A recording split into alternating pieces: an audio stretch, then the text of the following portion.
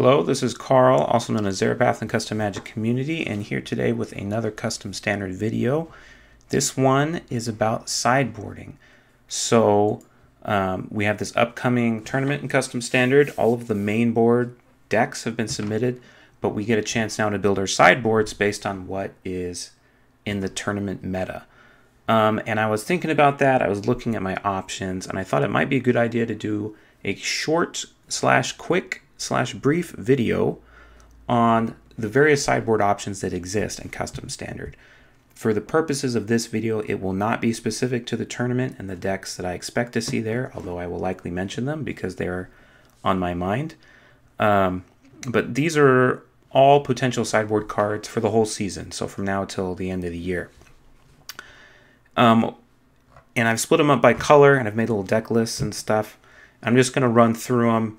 You know, as as always, like this is highly subjective. It depends on what deck you're using. It depends on what decks you're facing. A lot of times you don't want to just slot in answers to what your opponent's doing, but you want a more proactive sideboard plan, or maybe it's even incorrect to sideboard at all, depending on the matchup. So, all that being said, here's just a bunch of different options, some things to think about. Um, so, first up is Angel of Dismay. I've never cited this myself, but if you're against an aggro deck, this will immediately weaken their whole field as long as you catch them tapped. And then they will have a harder time attacking, attacking back against you. So potential uh, for go wide decks uh, that have been attacking you. Calming Drummerix, this is one that has seen play before, mostly because it stops, you know, all of the ETBs from blink heavy decks or flicker decks or combos that involve, you know, re repeatable ETBs. Cat Scratch Broker. Um, there's a lot of different ways to remove enchantments in white. I like this one because you're still putting board presence uh, down with the card along with removing the enchantment. The issue is if they have multiple enchantments, like with Harmonize together, they've got a whole bunch of different enchantments out there, and they will not sacrifice the one that you want them to most of the time. Um, so a little drawback there, but I think good if they've got like a single O-ring that they've used, or if they just have you know, uh, protect the uh, farm or, or, something. Chosen of the Faultless. This might be a horrible idea, but it, it's similar to Angel of Dismay, except it comes down turn three and it repeats. Like, you know, if they attack you, then they're going to have to expect to get a counter on that thing later. Um, and if you are being proactive yourself, you can sometimes use its other trigger to tap your opponent's creatures to let, let you go in. Containment Priest prevents creatures from being cheated in, so very important against Crest the Waters decks or um, Reanimator decks or um, Respec decks or just all, all the decks that kind of cheat creatures into play for, for these explosive plays. Um, Collector, it gives you a pedal if they have more lands than you, so you really only want to play this if you're second, hence it's a sideboard card. But being able to have a 2-1 for 2 first strike that also gives you a pedal is, is quite good. Uh, Guardian Tanifa is, it gives you hexproof till end of turn.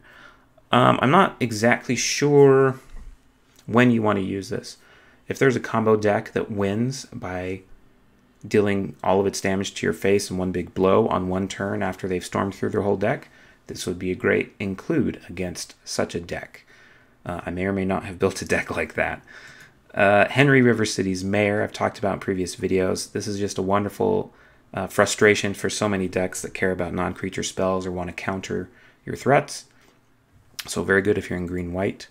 Rejoicing Aristocrats, um, it's a 4 mana 3 1 that hits any artifact or enchantment when it enters play. And if you already have other Harmony stuff, then it can do other things as well.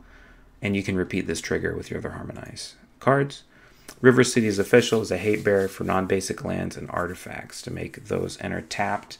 This might be tempting against like a four-color deck where all of its stuff is uh, non-basic lands, but they're the non-basic lands that enter untapped. Uh, this would halt that a little bit, maybe slow them down.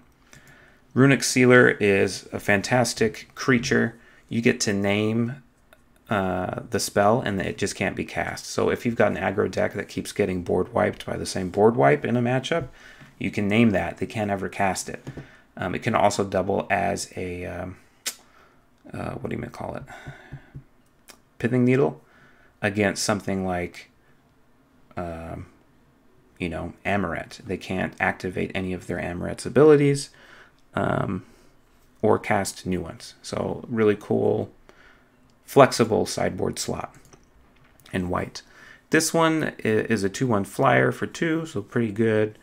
Uh, but you have to sack it to get a one-time instance of its uh, ability there, a lot like Containment Priest, but a one-shot. Solo Officer, 2-2 for 2 for Strike Vigilance, but it, it kind of does the same thing, except it doesn't prevent them from entering play, just makes them enter play as 2-2s, which sometimes accomplishes what you want anyway, and then it can brawl with it easily because it's a 2-2 for Strike Vigilance. Tithe Official, really good against board wipes, um, bigger planeswalkers, big expensive non-creature spells. And Tomb Keeper, really good against mid-range decks or decks that have big creatures that your aggro deck's having a hard time um, attacking into. Then via Arbiter of Perfection, similar to Angel of Dismay, like more expensive creature, but has, you know, it has kind of an immediate effect on their next combat. You can tap and hurt one of their creatures, and their creatures can't attack you with haste. So against the red deck that has um, tries to put out those hasty uh, Entarachi Apex Swamp Dragons, maybe this would be good against that. I don't know. The thing is, this is expensive. Same with Angel of Dismay. I think a lot of times when you go through the work of building a sideboard and having that card enter into your deck, you don't want to you want to feel like you're getting a really good rate for it, that you're kind of making a game-winning play when, when you play it. Um, and if it's too slow of a play, that it maybe doesn't help you as much as you would want.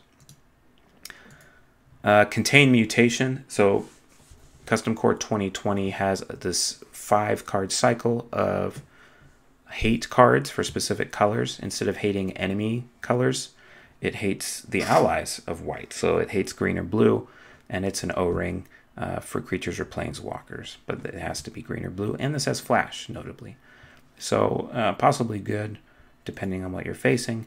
Justicar Sentence is just kind of staple removal for any non-land permanent with CMC 3 or less. Doesn't hit anything 4 or above, so you can't hit like uh, Soul of New Allures, the you know the vehicle that Harmonized Together combos off with. You can't hit Amoret. There's some important things it doesn't hit. Um, and then later you can turn it to an angel if you, you want to win with it or find a creature out of nowhere. This is instant speed, notably. Uh, Seal of Judgment, just another O-ring, a little more expensive, but it gains you some life. Uh, Serve the Empire is the opposite. It's much cheaper. It can only hit creatures, only prevents them from attacking. But against aggro, being able to like use out of date and serve the Empire on the same turn can really help you stabilize until you find, you know, a board wipe. Stirring Pride is when you have your deck is attacking, but you're worried about your life total because of whatever they're doing. This goes a long way to helping you with that. Uh, taken for questioning, just a typical O-ring with a color weight because sometimes if you have more life than them, you can cast it with flash. Unfaltering Hope is an anthem, which a lot of times I would argue should be main deck, but it also has this uh, ability to crack it to give your creatures indestructible until end of turn, uh, which can help against board wipes. Again, probably better as a main deck card. I don't know. Draelim's Guidance is similar. This is protection for your board. Um, if you've got kind of a smaller, smaller board, power two or less on your creatures. Helen's Rebuff, similar, gives your creatures indestructible. You can also, you know, pay the tithe cost to make your creatures bigger. Imperial Claim is one I've put in a lot of my sideboards just as a catch-all. Um, if I'm worried about their artifacts or enchantments being indestructible or being recurred through various means. Exiling it is wonderful. The fact it gives them a treasure token is not always great, but the fact this is so cheap is, is really good, and it's such a catch-all. It uh, does a lot of work for a few slots in your sideboard. Nivea's Regret is interesting because it can attack a couple different things. So if you're worried about decks that have big things that's reanimating or cheating into play, and you're also worried about other decks that have artifacts or sometimes both, uh, this can be good for that. Officer's Gambit. I'm not sure if this is a good sideboard card or not. I haven't convinced myself to try it, but the idea I think is against aggressive decks, you can make them sacrifice two creatures for one card. But at four mana, you want to be board wiping them anyway, so maybe that's not wonderful. Revel in Perfection, good when you have lots of creatures, and they also have lots of creatures. You can blow them out in the middle of combat. Um, you can stop their attack and it, it's just very good. And note that it doesn't put counters on you, but it does put minus, minus, uh, minus one, minus one counters on their creatures. So even if you're not killing their stuff, you can make it weak as well, which is pretty good.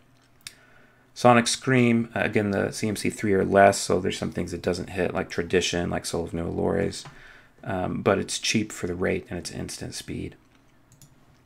Vane's Choice also has the one-shot Containment Priest clause on it, in addition to giving you some tokens or giving one of your creatures indestructible. So good in certain matchups. Viral Fame, um, for matchups where you just need to remove their creature and you're okay with them getting it back into your hand and you're okay with them getting lots of life, but you want the cheap uh, mana cost. Uh, Wander the Unknown for when you want the same thing, except you don't want them to ever get the creature back and you don't want them to gain the life, and you're okay with paying one more mana. So, anytime you have Viral Fame, probably better to just have Wander the Unknown. I don't know. Citywide restructuring from when you just want to wipe the board completely clear. You don't want any dangling enchantments and artifacts and planeswalkers. You got to kill it all. And uh, very good for that. Cleansing Nova is similar. Uh, there's sometimes you want to kill all the creatures, sometimes you're worried more about the ancillary stuff. And uh, I like that this gives you the option to choose between. Also, we don't have a lot of board wipes that just say destroy all creatures. Uh, Wrath of Mod, for example, another sideboard option, lets them upload a creature first. Um, so useful for that as well. Left to time, if they've got tons of enchantments, you can snipe as many as you wish, you know, one, two, or three. Pristine Daylight destroys them all, but maybe you don't want this if you have your own Oblivion Rings or uh, things like that. You're into the Lion's Dens and, and so on. Okay, that's white. Um, okay. Let's look at uh, blue. Okay, fewer here in blue. Amnesia Laser, Amnesia Laser is technically a win condition. If you can get them to like have a medium hand, you can get them to like keep wheeling their hand until they're out of cards. And meanwhile, also use this to tap down their creatures and prevent their abilities. Uh, Psion Mimic if you really want to copy something that they're doing or that you're doing for cheap. Um, block, uh, cheap blocker with eventual card advantage. If you're in a controlling deck and you're against a counterspell deck, being able to land a threat that they can't counter is good. Emissary of Dark Tides, you can bounce their attacking creatures or their spells. So think maybe kind of a tempo deck or a flash deck, this could be good. And Sorcerer, I think, is an excellent mid-range blue card uh, for just stealing their crap. If they, they're being really aggressive against you, they've got a problematic creature, you can take their dragon or, you know, do what you got to do. Faceless Stalker, countering activated or triggered abilities. I have to admit, I don't know when there's an activated or triggered ability that's so problematic you you really need this like one-time use to counter it. I, I just am not sure how often that happens. But we have the tool for it if somebody builds that deck. Uh, Kalipa Tidesurger can bounce not just creatures, but enchantments and artifacts. Sometimes that's important in blue if you don't have other ways to deal with enchantments and artifacts. And so that all being in one package, maybe you think this might be a, a sideboard card for some deck. Master Thief, you don't like their artifacts, you would like them instead. Uh, good for that. Mirage Oddity, this is pretty good control finisher if you're not in a meta that has lots of big flyers because um, they can't ever kill it. You can just keep exiling it till end of turn and returning it as long as you have lands that you can turn into wastes. Um, very frustrating. Like I've played against decks where I was way ahead, they landed Mirage Oddity, and I realized uh, I guess I just lose. I just can't ever remove it. A Night Hacker, if they're landing a, a lot of creatures um, or you want to stop an infinite creature combo where they make infinite tokens, um, this can do that. So like against uh, what you call it, harmonize together. I think this stops that as long as Night Hacker sticks around, because any time that they make the tokens to uh, to harmonize and make more tokens, to harmonize and make more tokens, they're losing life and you're gaining life the whole time. Um, and it is pseudo removal when it enters play. They, they will have to replay the card that it uploads.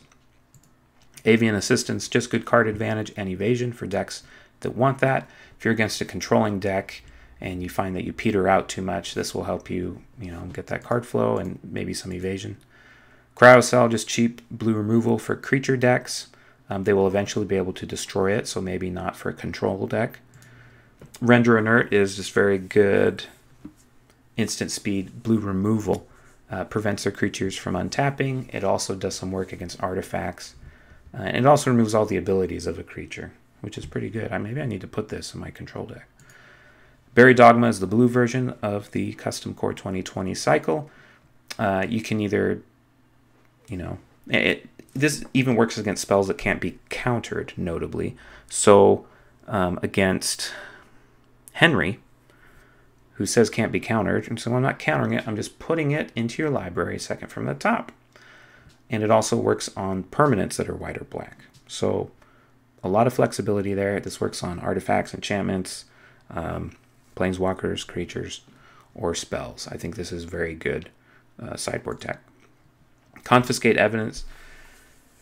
If you're against a flash deck, I suppose, um, it'd be really cool if they try and flash something in or, or do some like big spell at the end of your turn. Say, no, I will exile that and I will do it instead. I do not think that this works for X spells. So if they do a big Epic of Ekabram and you confiscate the evidence, I don't think you can recast Epic of Ekabram for the same X value uh, for free. Um, oh, go back. Okay. Dissipate. We all know and love this card. Uh, if you need a counterspell to deal with things you'd rather not see in the graveyard. Essence Scatter, classic, something good to have in the format. I think Essence Scatter is actually very good for the meta currently, today, October 15th, 2020. Negate uh, for everything else. then Oppress the Weak, blue black removal, that if you have a civilized deck can also draw you a card sometimes, but a lot of times it's just you know, Grasp of Darkness or whatever it's called. Is two mana, minus four, minus four. Perfect Crime. Good against tempo decks that want to counter your crap, but you want to exile their crap. Can also remove their uh, vehicles because it has instant speed. And it can also exile, it exiles all kinds of things. So, very good three mana removal spell that cannot be stopped except by Buried Dogma. Sand Warp, I like this as a one of out of a sideboard when you have this big expensive play you really want to protect and you will not have the mana available to do so otherwise. Uh, you're only using this for the free mode in, in those cases, so if you want to play a full automation on turn 6 or citywide uh, redistricting, uh, citywide uh, restructuring, like something big, game winning or, or game stabilizing, and you're terrified of their counter spell, being able to hold this up and, and actually cast it to preserve um, what you're trying to do is really useful. Also for combo decks. Sink into Doubt can't be countered, but can counter their stuff, but only if you have enough mana. This is kind of nice as like a Syncopate variant, although notably it doesn't exile stuff. Uh, it just helps you win counter wars.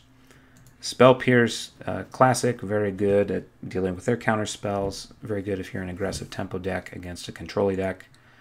Spell Sabotage if you don't like their artifact spells or the artifacts that they have in play.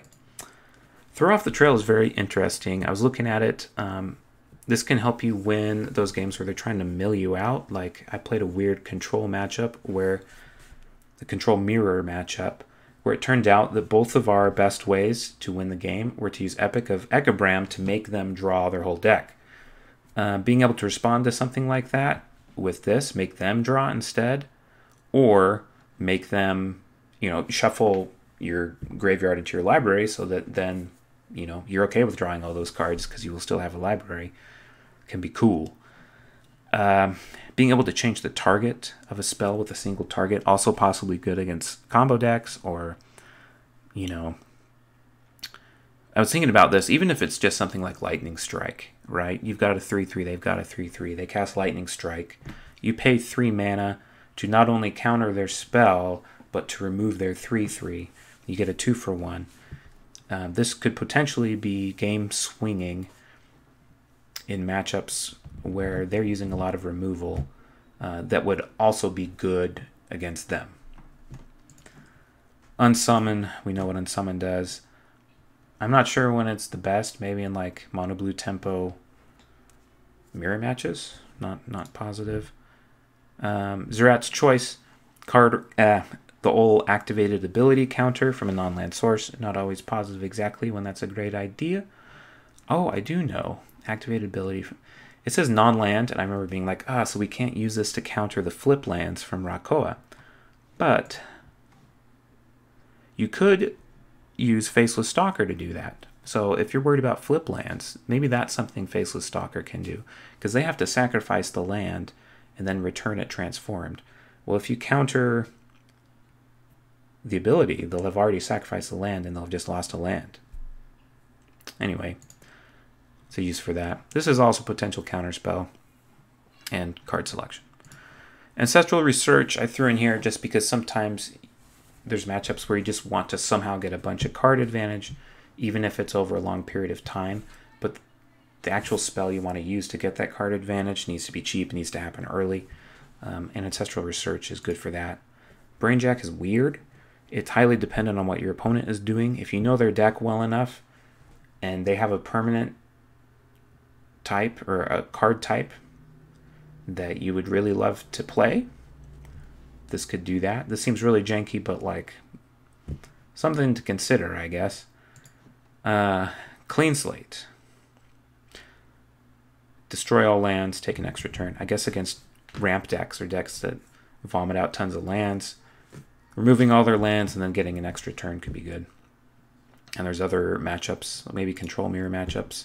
You get slightly ahead and then you destroy everything. I don't know. Uh, or if you're a Super Friends deck and like you've got a bunch of permanents that will continue to accrue value even when you don't have mana. Getting Lost is really good blue removal. It also gives you card advantage. It's tempo removal. It doesn't remove the thing. It just locks them down for a turn. Sarasa's Acquisition is mind control of any permanent, so including lands, but you have to wait a turn. I feel like that's could be good in some kind of matchup, although I'm not sure exactly what. It did make me think maybe I need to make a land destruction deck that also has blue for Sarasa's acquisition to literally steal their lands and add them to your own. All right, that's blue. Why, why does it keep saying that I'm saving things? That I'm changing it. All right, black. Um, from when you want to apply pressure and gain card advantage at the same time. Leyline Reaper when you want to land a body and also remove theirs at the same time. Lurker on the walls. Um, you want an evasive threat that will accrue value over time. Morgue Manager. If they are searching their library all the time and you want them to fail, um, Morgue Manager is here for you. Vicious Cleaner. He is good at removing creature cards from graveyards, so specifically unearthed creatures uh, other creatures that, that give value from being in the yard. And yes, Woopit Bruiser, when you want a body that can remove a thing, so similar to Leyline Reaper. Um, boiling Outflow, if you want a steady stream of bodies that can potentially give you card advantage. Consigned to Failure, this is a spicy one. If you're against a deck that doesn't run a lot of removal but runs a lot of threats, and you're confident being able to win a very long game, um, I could see this being really good. Because if they have no way to remove their own creature, you uh, might just win the game from there. Uh, Curse of Bleeding deals 2 damage to them, and then they can't gain life. So when you care about them and their life gain. Curse of Haunting, this is similar to uh, the Mask, uh, the Night Hacker. If you're trying to stop uh, a combo that involves creatures entering, infinite creatures entering play. Into the Lion's Den, just when you're like, all right, I need to steal stuff from their hands in order to win this matchup. And you don't much care, you know, it, you'd rather be able to take anything you want. Lazer's Altar is a very interesting card, has a fun subgame to it. Uh, highly controversial as to whether it's actually good or not. It can do so many things, but it helps your opponent every time. And there's arguments about the best times that you can break that synergy, and I will not argue about it here. I will just say for now, if you think you have a matchup that where you can break the symmetry well of Lazer's Altar, it might be a good sideboard card for you. Oracle's Ploy, one mana removal if you don't care so much about their ability to scry. Uh, like red decks are already really consistent, so them scrying maybe doesn't help them so much, but killing anything they play for one mana helps you quite a bit. Self destruct sequence if you want to clear the board of creatures and planeswalkers and you're willing to wait. Um, Fall of Ythonis when you want to kill the creatures and you're not willing to wait. And then over time, you can, you know, it could potentially be a win condition as well. Tradition, this is if you want value over a long, over a long game as well as gaining a little bit of life and some graveyard synergy. Notably, it combos with self-destruct sequence if you want to um, use the self-destruct sequence every single turn. You can have it go off every single turn if you want with the fully active tradition. Heir of Decay for killing lots of tokens at instant speed. Blood Knight Scorn. Um, this doesn't scale super well. Like a lot of times you just want to pay one, two, maybe three mana to kill something, and you will have to pay much more mana to kill something with Blood Knight Scorn a lot of the time. But I think there are many matchups where you would be more than willing to pay all of your mana to gain the five or six life you need to stabilize past uh, their ability to, you know, draw Lightning Bolt off the top of their deck and get you. Not that we have Lightning Bolt in the format, because we don't, but you know what I mean. Disfigure, Canon card, very good. Also against aggro, being able to start removing stuff as early as the first turn is, is important, especially when you're on the play. And they have those Eternal Wanderers and whatnot. Uh, Eli's Choice can get you card advantage, can remove stuff, or destroy Planeswalkers. Lethal Dose. Uh, three mana exile creature or a planeswalker with CMC 4 or less. We are not seeing many creatures or planeswalkers more expensive than that. So, in many ways, this is just, you know, an exile murder, which is very good. Misclick, if there's an upload deck that's getting out of hand, or a graveyard deck, this can deal with either. Um, or if you're about to be milled out, this can help you with that as well out of date. Um, I think this. I think it's finally hit a spot where it's good in the meta. Who knows how that will change over the course of the season? But there's not a lot of artifact creatures out there, and there's not a lot of equipment decks out there. Even though there are tools for such in uh, Custom Core 2020. Again, the meta can change, but this might be your Doomblade variant. If you're looking just for a regular old Doomblade to, to side in. Eli Windsor's really good at uh, piling up bullets and killing anything your opponents play, and then ticking up to an ultimate that will eventually win the game for you. Uh, however, it's really bad when you're on the play and they have any creatures before you play it because they can usually immediately remove it.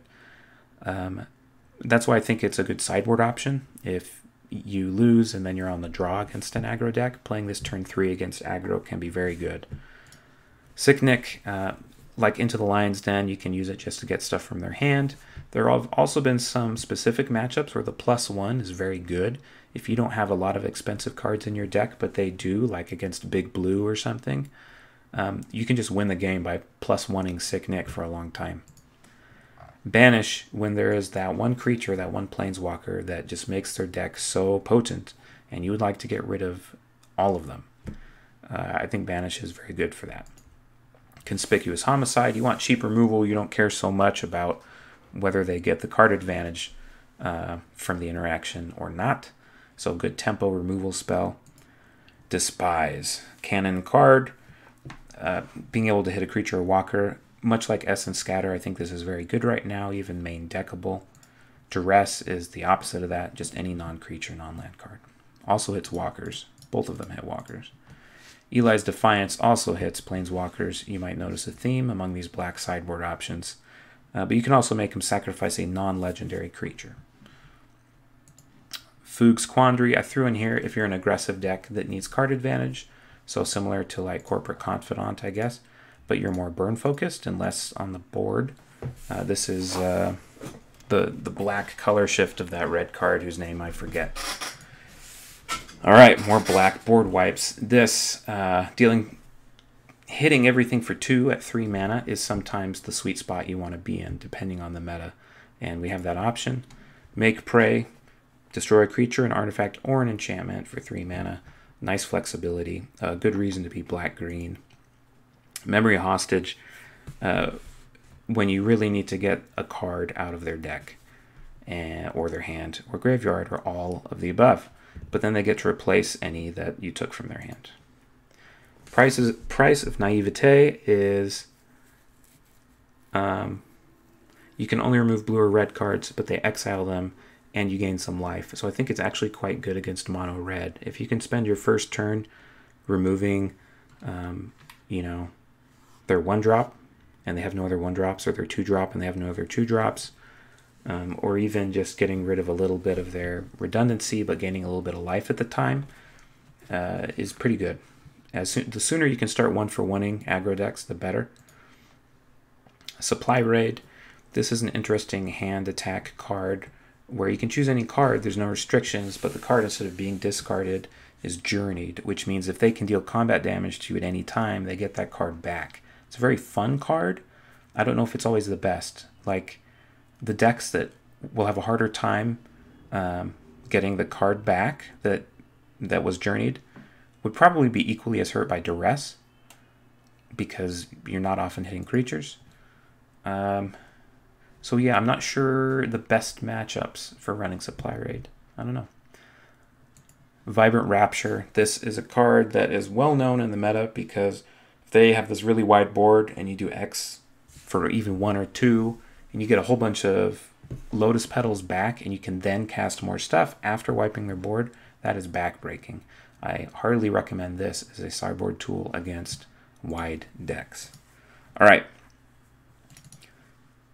we're now going to look, red, green, and colorless are much smaller, I guess not much smaller, than uh, blue, black, and white. Bogborn Exorcist is an interesting one I haven't seen used very often. Uh, it doesn't give you card advantage, but it, you can turn one of the cards from your hand into an instant or sorcery from their graveyard and cast it for free, which, you know, sometimes can be good. Grin's Reaver um, for aggressive decks that need a way to build up card advantage against slower decks. Lab Wrecker, really good at destroying artifacts and non-basic lands. Uh, very powerful, very powerful creature that um, has seen a lot of play in the past. Marrow Cruncher is kind of board wipe insurance, where if they kill all your stuff, at least you get a bunch of exiled cards that you have one turn to try and play. Vigilante Firebuck is anti uh, life gain tech, but also if they try and cast spells from their graveyard or from exile. I don't know what else we have in the format that does that. I guess the undercover mechanic involves casting things from exile, so it, it does punish that. Embers of Prof, well, also like stuff like Grin's Reaver, Embers of Prophecy, you're casting stuff from exile then as well. So be aware of that. Embers of Prophecy this is not an amazing card. It costs 4 mana, um, and you have to use a land to get the card each turn. But it does exist, and you can use it. Path of Brutality, this gets you two cards and double strike uh, if you're aggressive at all. A very good card to have. Flames of the Ideologue, the red version of that cycle. Um, two mana to deal five is pretty good. Um, I think that kills Amoret, for example, except that this only hits black or green, and Amoret is many colors, but those colors are not black or green. Um, I guess this is good for hitting like a Sporeflow Protector that's gotten big, or an Emarabi's Disciple. I don't know. And it exiles it also, if that matters. Hard Crash is a shatter that also makes everything lose indestructible. So if you're worried about indestructible artifacts, you can do it. Notably, if you know, you're not as worried about their artifacts, but they have something else that's indestructible, this will also make that thing be indestructible if you have another way to remove it. This is a lightning bolt, but it costs you a card from your hand until you have the mana to get it back. Incandescent Rain, excellent board wipe. The fact it's instant speed matters a lot. The fact that it puts minus one, minus one counters matters a lot. So it's not just dealing two damage, it's effectively doing two damage, but all the stuff it doesn't kill, it's also weakening which can help you survive the turns you need to stabilize with something else, or it turns on your other removal, like your shocks. Um, yeah. Lightning Strike. We know how this works. Magma Maul, if you're a big red deck, maybe you already have this in your main deck.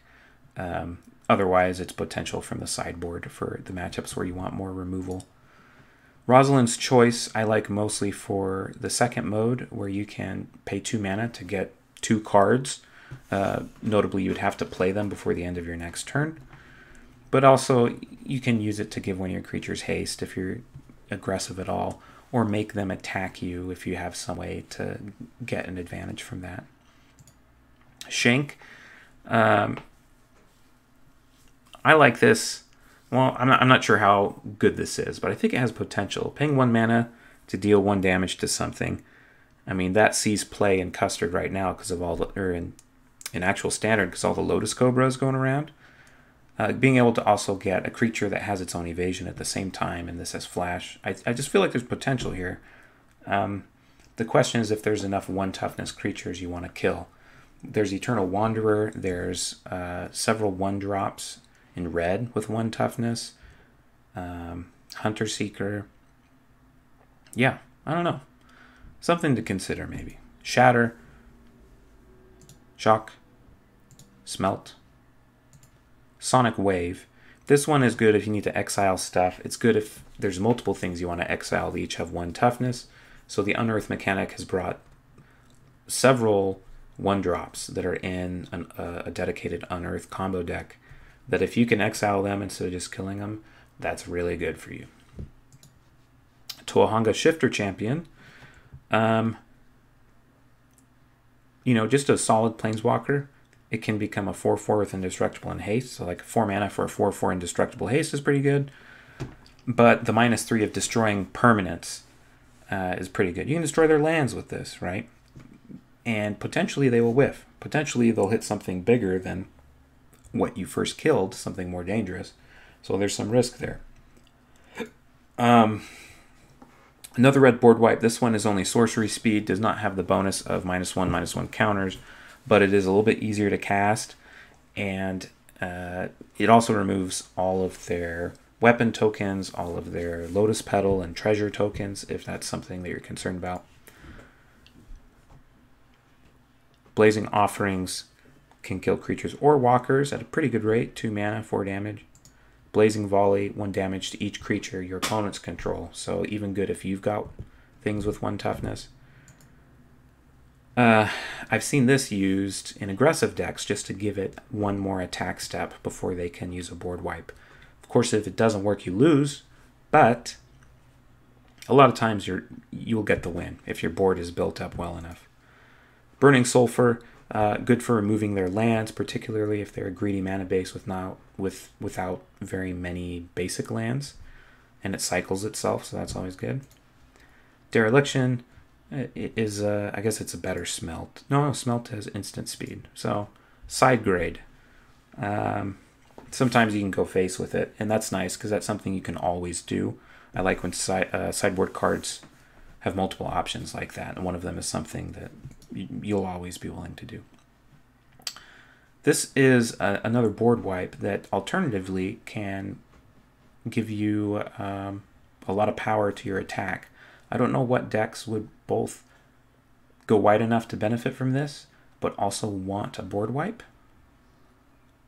But in case that deck exists, I have now talked about the card. Insistent Lightning uh, deals X damage to any target, so like a big old, you know, disintegration or whatever. But you can also cast it from your graveyard if you have no cards in your hand. So maybe in, in some kind of burn deck that wants some reach, um, you know, if they know they're going to run out of cards after a while, and if their opponent is still around, once they build up enough lands, they can cast this from the yard and and finish them off. Kalanua's Wrath. I think this is one of the better Wraths in the format right now. Dealing 5 damage to everything on turn 5 is effectively a board wipe. Not always, mind you, but uh, often enough. And the fact that later in a game it can also give you your own 5 5, uh, even potentially a 5 5 you can attack with immediately if you have 9 mana, is, is pretty good. Psionic Burst is an Arc Lightning variant. I I think that's often good in a format. I'm not sure if there's something wrong with the uh, Secrets of the River Cities files right now, so I'm not sure if this card is actually what it says it is. It's Arc Lightning. Um, we know what Arc Lightning does. It may not actually be in the format. We'll, we'll find out. Uh, Sand Scald, if it deals 4 damage to face or to a creature, if they've got some beefy mid-range creatures that you need to get past, like a uh, Sire of Empires or Scion of Empires, whatever it's called, uh, or some other creature that has indestructible for whatever reason, this is good for that. Villain's Gambit, same issue with Secrets of the River Cities, except I know that this one is what this says here, where you exile the top X cards, and you can either keep those to, to play them on your next turn, or um, you can deal damage to any target equal to the, those the number of those cards. So this can be, you know, a fireball or, uh, you know, drawing a bunch of cards on impulse. All right. Green and then colorless. Fox Agency Operator, good if you need card advantage and you're attacking them a lot already. Fungal Womper if you want to stabilize and you're worried about them removing your stabilizing force. Jericho's Assistant, uh, good if you're aggressive and you're worried about them using spot removal on your creatures. Jobaya, uh, good for ramping and creating uh, uh its own threat for winning the game. Overgrowth Instigator, you don't want them removing your stuff or countering it, and this is a way for you to win against control. Plated Charger is kind of the same. Radaran Reclaimer, uh, as it attacks, you can destroy their artifacts and enchantments. Rat Eater, uh, you can pay X and enters with that many plus one plus one counters, but it also gains you X life. So a little bit of stabilization in a big mana deck. Here you can pay 2 mana and gain 3 life and have a 1-3 body. Uh, for uh, This will get you some value over several turns, and if they kill it, you can discard cards to get it out of your yard. Sacrificial Bowl exiles any card from a graveyard, and it gets a bonus if it's a land card. And then later you can turn that to life and cards of your own. Song Mistress of the Rivers, if this is still how it is, it has accomplice, and anytime it becomes an accomplice, you can destroy an artifact or enchantment, which is pretty notable because you can repeat that, and it itself doesn't have to do the attacking to become an accomplice. Sporeflow Protector, excellent at removing cards from graveyards, and you know, a great top deck in a late game where both the graveyards are full. You can just create a huge army of Saprolings. 2-2 that you can sacrifice to kill an artifact or enchantment. Not a wonderful rate, but it's a tool. Zero Beast Driver, Good if you're worried about them removing your strong creatures. Um, and you can also use it as a pump, the ability to pump it up bigger. Arcologize is kind of a catch-all. You can get their, their planeswalkers, artifacts, enchantments, and turn them into forests. Um, Curse of Vulnerability if you're really worried about their hexproof and indestructible stuff. There's nothing in the format right now that I'm where I'm worried about hexproof and indestructible, but if there is, we have this tool. Gila Emergence gives you a 6-6 every turn, uh, and it can't be countered. So this is an excellent anti-control tool. Watch out for their instant speed removal though. State of Affairs is just continuous life gain uh, and potentially getting a card back if you're willing to crack it and if you have the life advantage to do so. Worm's Wake, um, for really long games where you just want to accrue value from getting all hitting all of your land drops and eventually getting a, an enormous 15-15 with hexproof. Bitter Redemption, kind of board wipe protection in a way. Like if they destroy all your stuff and you have the mana up, you can get a bunch of them back to your hand. And I'm sure there's other uses for it as well. Like with self-destruct sequence, when it cracks and a bunch of stuff dies, you'll still have the mana on that turn to, to use Bitter Redemption. Cover Up. Um, it's like Naturalize, except it goes under their library. The final card in the five card cycle from Custom Core 2020. It's a fog that also gives your stuff hexproof from red and white till end of turn, as well as yourself. So, a lot of potentially good uses there. I don't know which decks really want it, but it exists. Eli's Grit um, it's pretty good. You can use your planeswalkers to kill their planeswalkers or creatures with it, which is a unique enough effect. I thought maybe I'd throw it in here. Heartland's protection can not only just give your creatures hexproof, like Ranger's Guile does, but any of your permanents. So if they're trying to destroy your land or your artifact or your enchantment or something like that.